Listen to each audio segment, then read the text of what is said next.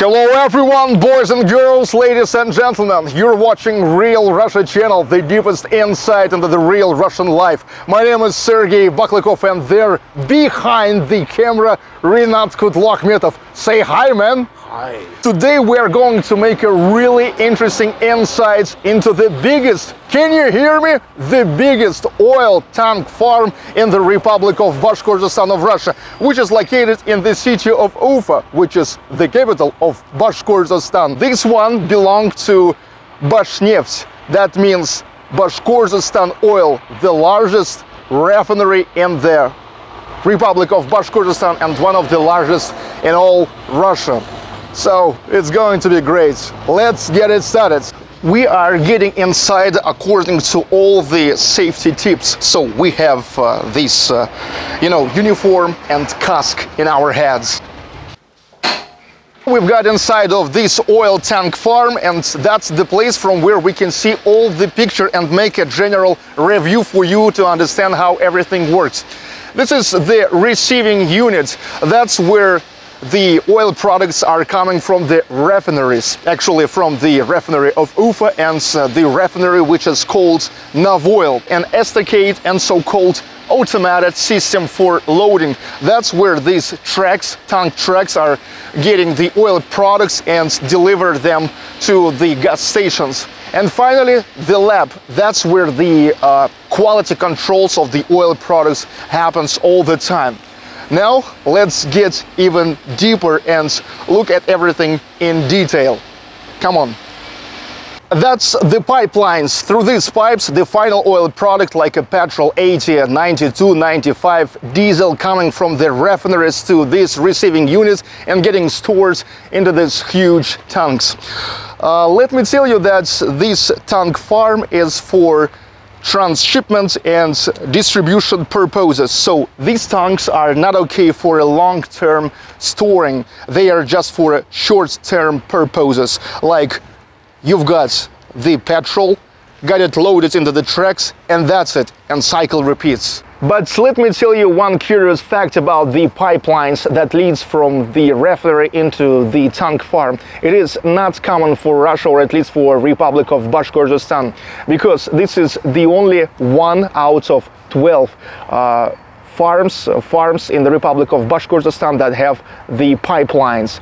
This one located not far from the refinery, so that's why it is efficient here, but more common to have it delivered, I mean the oil products to the tank farm through the railroad in cisterns, you know.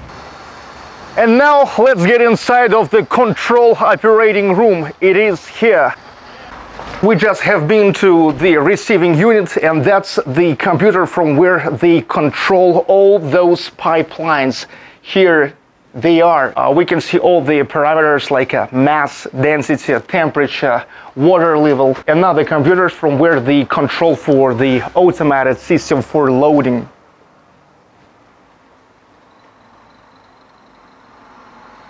Automated system for loading. That's where all these tank trucks are getting filled with the uh, oil products and so finally get it delivered to the gas stations. Be careful here, handle with the pipes, with the pipes that leads into the tanks, locking device for an insurance of the driver. Important rule is uh, to have the uniform which is uh, completely consisted of 100% Hudson. So the security rules are work pretty strict here.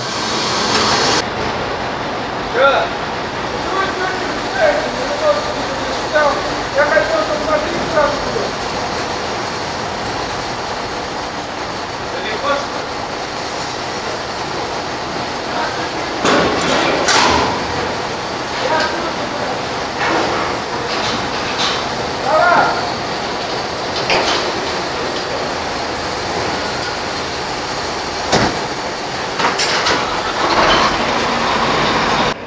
You know, Bashneft, Bash Oil Company have as a clean petrol like 92, 95 as so-called ATUM. It means that this is the petrol which is mixed with the fuel additive.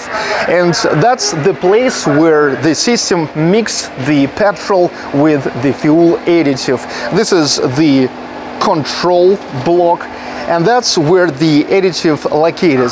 Inside of this here is an automatic system that uh, itself estimate how many fuel additive needed for a certain amount of the clean petrol and it mix this and I want to say that uh, it goes by portions not all at once but by portions you know that to make it equally and easier to mix and now this is the right place where I can tell you more about fuel additive for Bash Oil Company.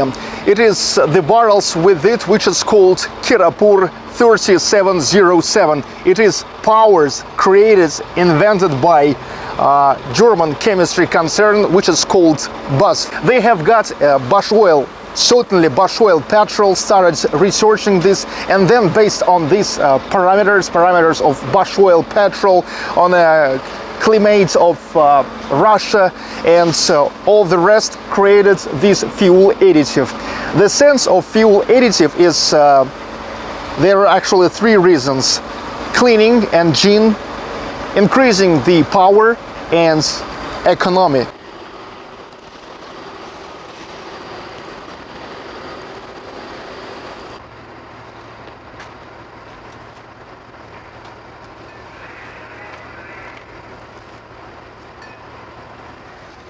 Inside of this box that the guy now carry in the lab, the probes. So they are taking the probes of uh, the petrol from different places and that's where they are making the analyze of this.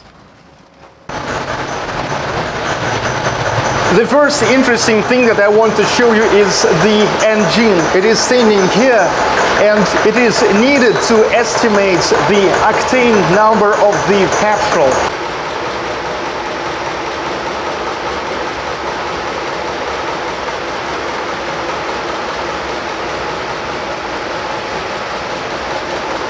Really many devices here and you can find the details of almost everything inside of the petrol. Let's say this device can find the amount of water inside of the petrol. With this syringe you just take a petrol, gets it inside and the special chemical reagent finds how many water is inside of the petrol and gives the result on the screen. The one which is estimates the amount of sulfur inside of the petrol. Well, in this room, even more different uh, devices like this distillation tester. And here, as far as I can see, how they find the fractional composition of the diesel fuel mobile scanner. It can be not only in the lab, but in a mobile lab. The fridge, that's where they store the probes of the petrol.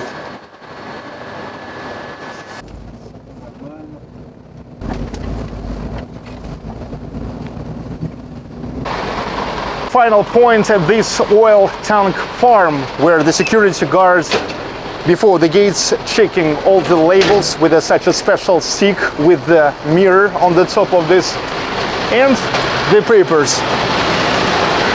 Only after the security check it gives the permission to go next.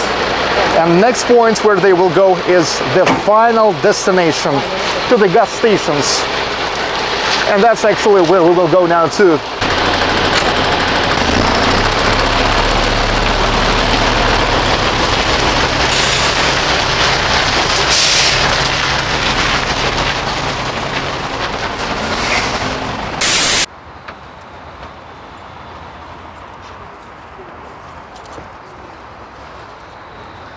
And now this is the final destination when the oil products are coming from an oil tank farm to these retail gas stations. From here it is getting into the tanks of the usual drivers, you know. Now we can see how is the worker of this gas station receive the oil products from the branded tank track. One of the Bashneft Bash oil gas stations.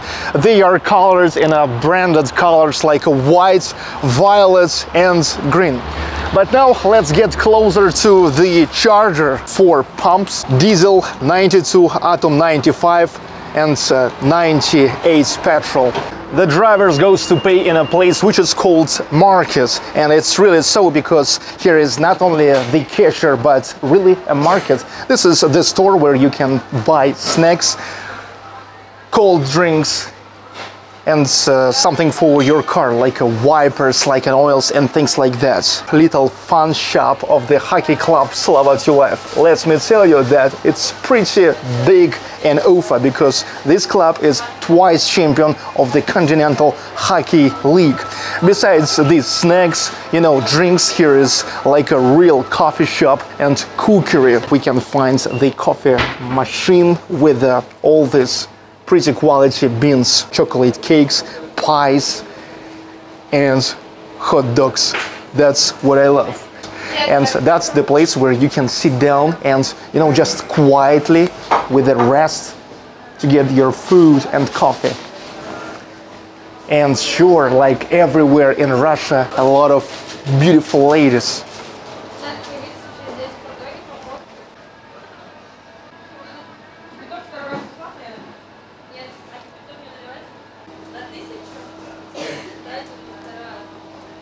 Once we are in a gas station, how not to say about the prices for fuel in Russia in September 2016. Special for this, we came to the price boards and we can see that an average price is actually 36, 37 rubles per liter. If to convert this into United States dollars and then to gallons, this is an average 2.2 dollars I mean two dollars 20 cents per gallon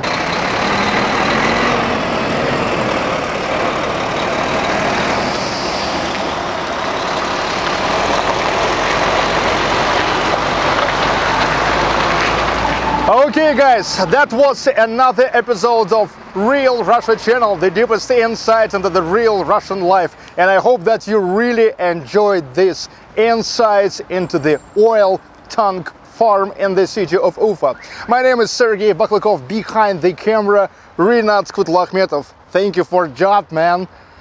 Comments, like and subscribe. See you.